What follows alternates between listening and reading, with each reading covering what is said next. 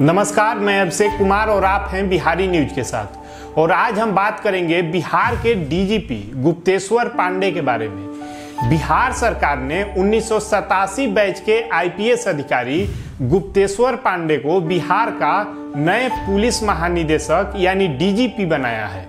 पांडे पूर्व डीजीपी के एस त्रिवेदी की जगह लिए हैं। बिहार कैडर के उन्नीस सौ सतासी बैच के आईपीएस गुप्तेश्वर पांडे को लोकसभा चुनाव से ठीक पहले बिहार के डीजीपी बनाए गए थे। बिहार में तेज तरार पुलिस अधिकारी की छवि वाले गुप्तेश्वर पांडे ने औरंगाबाद, बेगूसराय, जहानाबाद, अरवल, नालंदा जैसे जिलों में एसपी रहे और इस दौरान उन्होंने उस जमाने के बड़े बड़े सातिर क्रिमिनल्स को या तो ऑपरेशन चलाकर मार गिराया। या जेल में पहुँचा दिया। साहित्य और संगीत के क्षेत्र में भी दखल रखने वाले गुप्तेश्वर पांडे, मुंगेर, मुजफ्फरपुर के डीआईजी भी रहे हैं। बाद में वे मुजफ्फरपुर में आईजी भी बने और फ़िलहाल उनके पास डीजी ट्रेनिंग और डीजी पुलिस एकेडमी की ज़िम्मेदारी थी। गुप्तेश्वर पांडे विशेष शाखा में आईजी रहे हैं।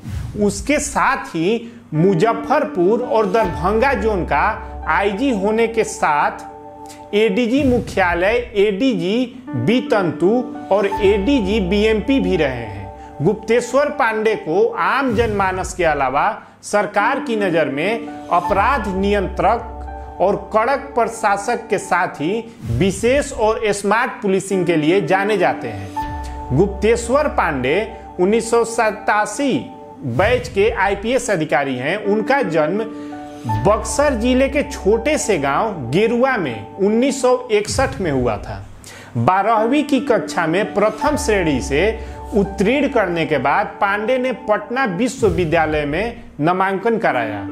1986 में आईआरएस बने। तब वह अपनी इस नौकरी से संतुष्ट नहीं थे। उन्होंने दोबारा यूपीएससी की परीक्षा दी और आईपीएस बने।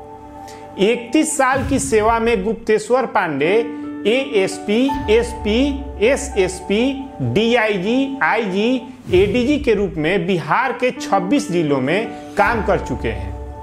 उन्होंने उन्नीस सौ तिरानवे में बेगूसराय और उन्नीस सौ छियानवे में बिहार के जहानाबाद में अपराध रोकने के लिए बड़ी कार्रवाई की थी। गुप्तेश्वर पांडे पहले ही साफ़ कर चुके हैं कि अपराध पर नकेल कसना उनकी पहली प्राथमिकता होगी। इसके लिए वह एक टीम बनाएँगे, जिसमें सारे सीनियर आईपीएस अधिकारी रहेंगे। उनके अनुसार काम में कोताही बरतने वाले पुलिस अधिकारी नपेंगे। बिहार में गुप्तेश्वर पांडे ने शराबबंदी को भी सख्ती से लागू करने का इरादा जता चुके हैं। उन्होंने वाकई बिहार की पुलिसिंग को पीपुल्स फ्रेंडली बनाने का काम किया, जिसकी चाहत मुख्यमंत्री भी रखते हैं। नीतीश कुमार के ड्रीम प्रोजेक्ट, पूर्ण शराबबंदी को ज़मीन पर उतारने में मदद की। गुप्तेश्वर पांडे द्वारा नशा मुक्ति और शराबबंदी को लेकर हाल के दिनों में चलाए गए अभियान की वजह से चर्चा में रहे थे। राज्य के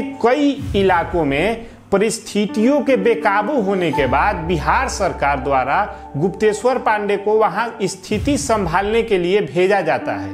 और खास बात यह है कि उनके जाने के बाद स्थितियाँ नियंत्रण में हो जाती है।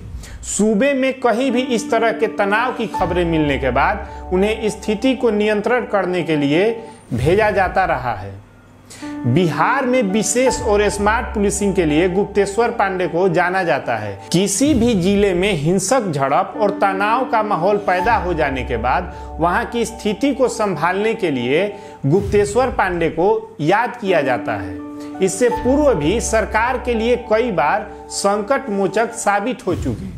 वरिष्ठ आईपीएस अधिकारी डीजी गुप्तेश्वर पांडे का अपनी पूरा सेवा अवधि में अधिकांश समय पुलिस मुख्यालय से बाहर फ़ील्ड में ही बीता है। जानकारी के मुताबिक, चतरा, बेगूसराय, जहानाबाद, अरवल, औरंगाबाद, हजारीबाग और नालंदा जैसी जिलों में इनकी पुलिस कप्तानी को लोग आज भी याद करते हैं। उसके बाद यह मुंगेर, बेतिया, मुजफ्फरपुर में डीआईजी रहे और वहाँ जमकर सोशल इंजीनियरिंग के साथ स्मार्ट पुलिसिंग को अंजाम दिया। खासकर विधि व्यवस्था संभालने के मामले में इनकी कोई सानी नहीं है। मोतिहारी के तुरकौलिया, सुगौली, रामगढ़वा से लेकर सीतामढ़ी, शिवहर, दरभंगा, छपरा, सिवान, कटिहार और वैशाली, यानी जब जब भीषण सांप्रदायिक तनाव का माहौल उत्पन्न हुआ और स्थिति बेकाबू हुई, तब तब सरकार ने वहाँ की स्थिति संभालने के लिए इन्हीं को भेजा। गुप्तेश्वर पांडे के घटना स्थल पर पहुँचते ही स्थिति काबू में हुई और सरकार ने राहत की सांस ली। वहीं अगर बात करें तो औरंगाबाद और कटिहार में सांप्रदायिक माहौल खराब होने पर इन्हें भेजा गया था और वे वहाँ स्थिति को संभालने में कामयाब रहे थे। डीजीपी पहले ही स्पष्ट कर चुके हैं कि पुलिस का काम अपराध नियंत्रण और विधि व्यवस्था बनाए रखना है। इसके साथ ही वो ये भी स्पष्ट कर चुके हैं कि सरकार की अपेक्षा पर खड़े उतरने का प्रयास करेंगे। मेरे कार्यालय के दौरान अगर कोई उपलब्धि मिलेगी तो वह सिर्फ़ मेरी नहीं होगी, यह पूरे पुलिस विभाग की उपलब्धि होगी। जनता के सहयोग और समर्थन के बल पर हम अच्छा काम करेंगे। जो भी चुनौती है, हम मिलकर उसका सामना करेंगे। काम न करने वाले ऑफिसर के बारे में एक ही बात कह सकता हूँ कि वे नपेंगे। ऐसा वे अपने फेसबुक लाइव और मीडिया को दिए हुए इंटरव्यू में कह चुके हैं। वहीं अगर बात करें तो गुप्तेश्वर पांडे कभी भी, कहीं भी, किसी भी जिला में या किसी भी थाना में रात को एक बजे भी चेकिंग में पहुँच जाते हैं, जिससे कि आए दिन पुलिस अधिकारी सहित अन्य पूरी पुलिस महकमे की क्लास लगती रहती है। बिहार के नए डीजीपी गुप्तेश्वर पांडे ने जब से ज्वाइन किया है तब से ही वे बिहार के बेहतर पुलिसिंग की कोशिश में लगे हुए हैं। अब आगे क्या बिहार की स्थिति रहती है, ये देखने वाली बात है। अगर वीडियो अच्छा लगे तो लाइक, शेयर कीजिए, चैनल को सब्सक्राइब कीजिए और बेल आइकन पर क्लिक कीजिए। और फेसबुक पर देख रहे हैं तो वहाँ लाइक, शेयर कीजिए। शुक्रिया।